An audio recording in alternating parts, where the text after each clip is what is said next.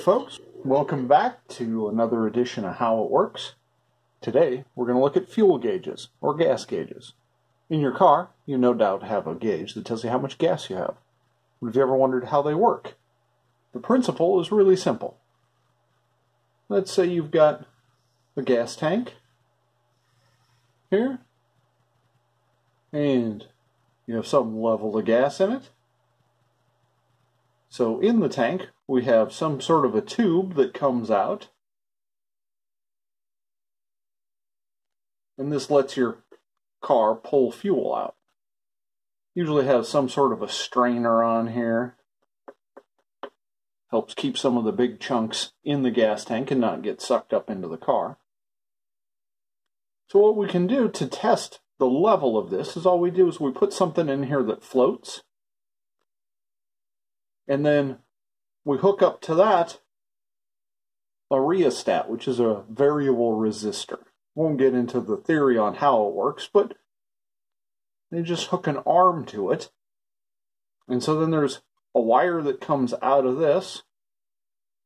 It goes over to your gas gauge and then continues on in some way to the battery. Typically, there is also some other wire that comes either from the sending unit if you have like a plastic gas tank.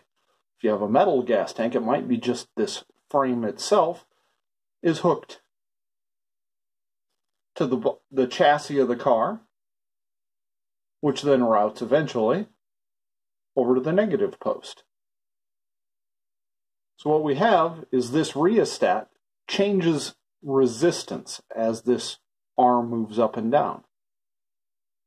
So maybe when it's really high up, we might have, say, 10 ohms of resistance. And when our gas is really low, the float's down here, up to the arm, and now we have, say, 75 ohms of resistance. So your gas gauge over here is going to show empty.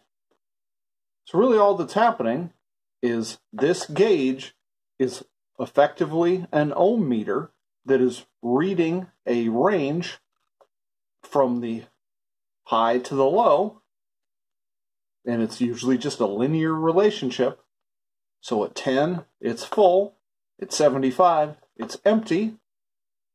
So at about somewhere around 40, you're going to be at the halfway mark. That's all it is. It's just a very simple ohm meter that's reading the resistance across this rheostat. Let's take a look at an actual fuel pickup and sending unit from inside of a gas tank. And here we have a fuel pickup. You can see on this end we've got a connection for the wire that goes to the gas gauge the outlet for the fuel. It goes into a metal tank, so this is grounded through the tank to the chassis. We've got our wire that comes down to this rheostat. We have our fuel pickup here with a little screen, little sock on it, and then we have a float that moves up and down. Quite simple. You can see that because it travels rather than in a straight line down, it travels in this curve what happens is when we're up here and the fuel starts dropping, it moves fairly slowly, and then as you get closer to half a tank, it's going to move faster. So you probably see that in your gauge. If you've ever noticed when it's full, it goes from full to, you know, an eighth of a tank down very, very slowly. But then once you get past that, you know, I'm seven eighths full or three quarters full, start getting down, it goes a lot faster. And that's why you can see actually if this is the top of the tank, we have fuel all the way up to here, it's going to drop all the way down to here before the gas gauge starts uh, showing any change at all. So that uh, explains why. It's a little easier to see it this way, but this one sits in the vehicle from above.